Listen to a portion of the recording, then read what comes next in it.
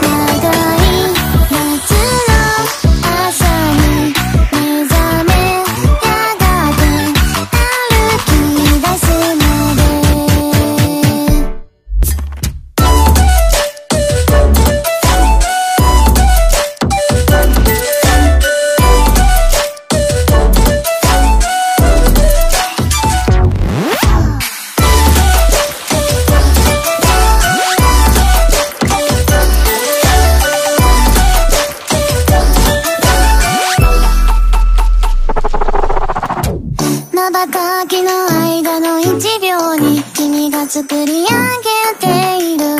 誰も知らない世界。僕の頭も知りたいみたい。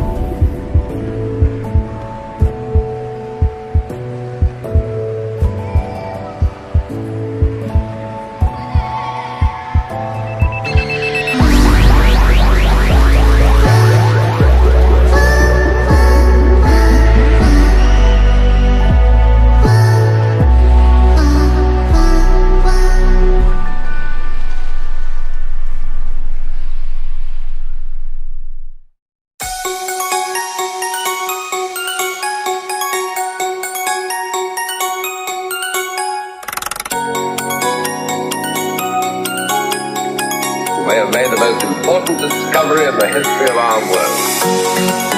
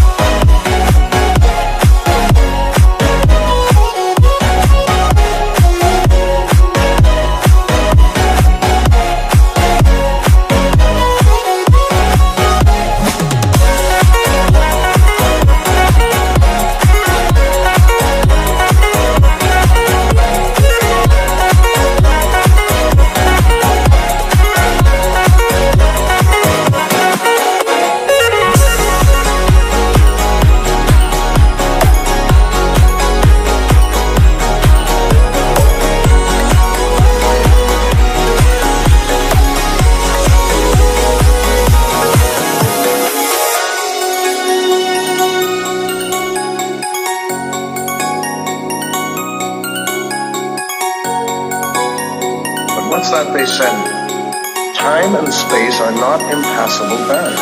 They said that.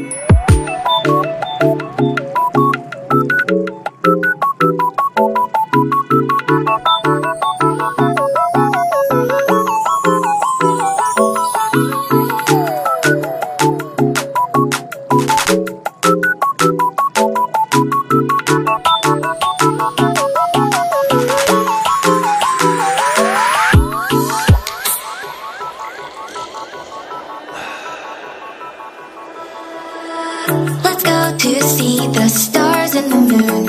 I'd fly far into space as long as I am with you. The light in my bright eyes when you're near. The fluttering I feel in my chest when you are here. I can't explain this kind of love. It pulls me to you, I want it, I can't get enough. So